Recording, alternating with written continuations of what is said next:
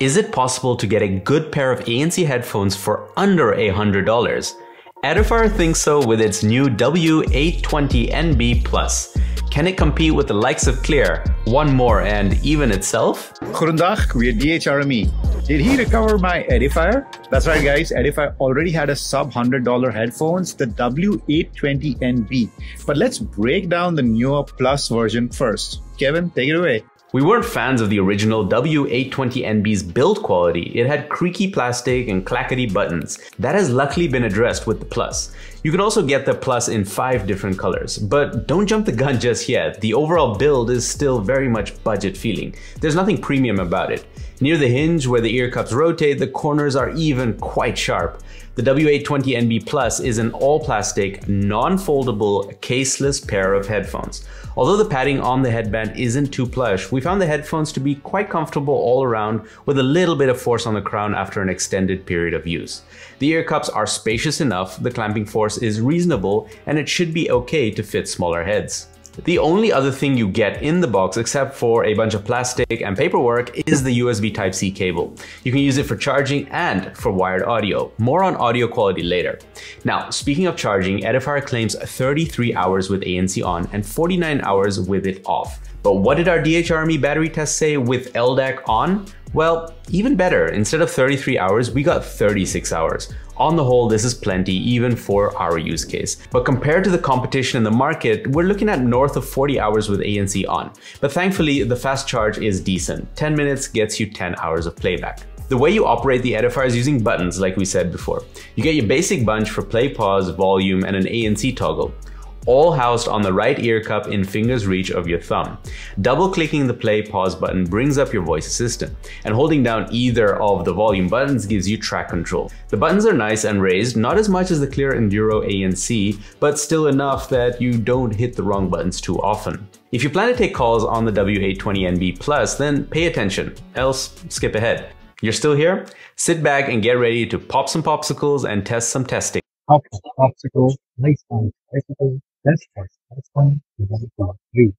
Pop, pop, popsicle, ice, ice, icicle, test, test, testing, one, two, three. Pop, pop, popsicle, ice, ice, icicle, test, test, testing, one, two, three. What did you think? We thought they were fine for situations without too much background noise. Because due to the aggressive cutting out of background noise, it affects the voice of the speaker too. This is one of the most aggressive we've ever seen. In terms of controls, you get your answer, hang up, and volume. There are no fuckmon specials like muting on the headphones, and unfortunately you can't change the ANC mode either. The ANC mode just turns off on calls. The ANC button on the right ear cup can be customized in the app, and you can choose if you want to toggle between ANC on, ambient mode, and ANC off. The default configuration of cycling between ANC on and ambient mode is just the way we like it. Once you get past all the weird permissions the Edifier Connect app needs, you'll see that it's quite a basic set of settings that you get. Apart from selecting ANC modes, you get a limited number of EQ presets, and finally a low latency game mode. You get no custom EQ. And that's it. The rest is Edifier building in their website and web shop into the app. If you're on the Android app though, you will see the option for LDAC. Pretty cool that Edifier supports LDAC in their budget category. More on sound later though. At this price point, you're not getting any additional features like a wear sensor to pause your audio automatically, and there's also no multi-point. This means you stay connected with one device at a time. If you want to switch, you need to put the headphones into pairing mode again. You cannot pull the connection from a previously paired device. There's also no three and a half millimeter headphone jack and no fast pair of any kind. But you guys have been super kind with your support of the channel. We truly enjoy hearing from you in the comments and on our Discord server. Please continue talking to us. If you want, you can financially support us too by becoming a YouTube member or patron, using the affiliate links in the description to do your shopping, or match your wardrobe with ours by checking out shop.dhrme.nl. Back to the video. Overall, if you're someone who doesn't use a companion app and plan to use the headphones primarily with one device at a stretch, then you'll be plenty happy with this Edifier. The noise cancelling on the W820NB Plus did improve compared to its predecessor. We rank headphones on a scale from S to F, S being top tier and F being the lowest. The first iteration came in at a respectable tier B. What about the Plus version? Uh, also tier B. That's right, we didn't quite notice a difference. It's also in good company with its other recently released cans, the Edifier WH950NB. But more importantly, if we're comparing to competitors under $100, then we see the 1More Sonoflow also in tier B, and the Cleer Enduro ANC all the way down in tier E. Overall, if these are your first pair of noise cancelling headphones, you'll be happy with how much these can block out noise, especially the low end noise.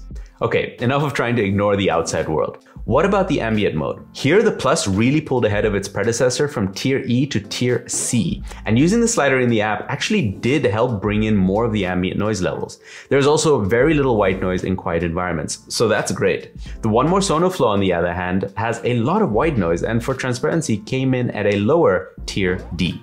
The only pair under $100 that provided the most amount of clarity is the Cleer Enduro ANC. It came in at tier A, but it also has a fair bit of white noise. Again, we didn't have any problems going about our business and even talking to people in a pinch while wearing the Plus in ambient mode. A lot of the low end is piped in, the voices can get a bit lost, but do keep in mind that even in the highest ambient setting, the volume of your environment isn't as high as it would be without headphones on. Very usable though without all that effort to take off your headphones. So, is the W820NB Plus worth listening to music on? Specs wise, we're happy to see you get LDAC support on Android and wired audio over USB. And it very much borrows from the DNA of the Edifier W820NB. You get a bit more customization though in the form of four EQ presets in the app. Overall, the sound is clear with a slight V shape and has crisp treble. Easily one of our favorite stock tunings, much like its predecessor. We like the preset called the Classic best with things like the rock preset that treble can border on fizzy. And with many genres of music, this doesn't come across, but it does in something like podcasts where the voices stand without any bass to hide that. The S's stand out. The OGW 820NB has the same flavor, but the main difference was in the treble. It's very much focused on the lower frequencies and the lack of LDAC shows in the higher frequencies. I ain't looking at the clock, still falling like Cleer has the biggest mid-bass thump. For those of you who like that sound, the Cleer is an excellent choice, but comes with aptX Adaptive, which not many phone brands, including Samsung, support. Its stock tuning is rather bass heavy and reminiscent of the Sony WH-1000XM3s to us. Luckily, it does have a powerful 5-band EQ that can help with that. Out of the box, the Plus has a way more balanced and pleasing sound to our ears. And it's not like it lacks bass, it's just not overdone. The 1More Sonoflow also sounds fine and offers the most customization here. EQ capabilities, presets, you name it. You get a neutralish sound signature out of the box. The bass and sub bass are both solid, but the treble feel a bit weak and the soundstage is on the narrow end. So for music, we'd pick the Edifier Plus or the Cleer, depending on which phone we had. But the 1More and the OG Edifier aren't bad by any means. Well, should you buy it? The Plus version of the W820NB definitely added improvements and very much worth those extra $20 compared to the older model. You get improved transparency performance, a Cree-free build quality, and LDAC with improved sound quality. But if you already own the W820NB and these improvements don't affect you as much, then take a friend out to lunch and save yourself those 20 bucks and feel good about curbing potential e-waste. We'll be proud of you either way. But, a big but, if you want more bass in your sound, a 3.5mm headphone jack, a massive 60 hours of battery life, a custom EQ, and even better transparency mode, and okay-ish multi-point support, then you might want to consider the Cleer Enduro ANC. You will sacrifice on poorer ANC and less spacious cups and padding on the headband though. The price of these cans can swing below and above the $100 mark. For latest prices, check out the links down below. And finally, there's the 1More Sonoflow, which launched and still retails at the $99.99 price point. Compared to the Plus, it brings more than one more things to the table. An impressive 50 hours of battery life, a hard case, a headphone jack, a more action-packed app with a custom 10-band EQ and solid multipoint, including LDAC. You do, however, sacrifice on worse transparency performance. Let us know what you would get with $100. You've been looking at the pluses and the minuses. And we've been DHRME. Namaste.